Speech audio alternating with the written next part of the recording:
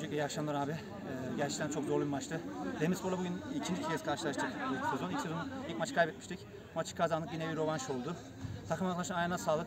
Aslında bugün maça gelme gibi planımız yoktu. Her şey akşam belli oldu, bir anda belli oldu. Kısmet buymuş. Tüm takım arkadaşlarımı tebrik ediyorum. Efe'yi, Kadir'i, kalecimizi sağ olsun da bizi kırmadı geldi bugün. Yasir abi, Mehmet abi, herkesin ayağına sağlık. Size teşekkür ediyorum. Efe çok iyi bir maç çıkardınız. Sen neler söylemek istersin? Biraz gol anlamında şanssızdım da asist olarak Batu abiye destek oldum. İyi bir maçtı. Demir, Demirspor için neler söylemek istersiniz? Abi çok iyi takımlar diyecek bir şey yok yani. Hepsi yetenekli, kaliteli çocuklar. Playoff'ta bence çok sürpriz yapacaklar. Biz de inşallah yapacağız. İyi bir transferimiz var. Tartışmalı bir Buyur. penaltı pozisyonu vardı. O penaltı mıydı? Hangisi abi? Tartışmalı bir penaltı pozisyonu. Abi inan ben görmedim. Yani e, Efe sen Efe için de Efe anlasa daha doğru olur onu. Efe Bence penaltı değildi abi. Peki. Ee, O öyle diyorsa öyledir abi. Ben, ben karışmam buna.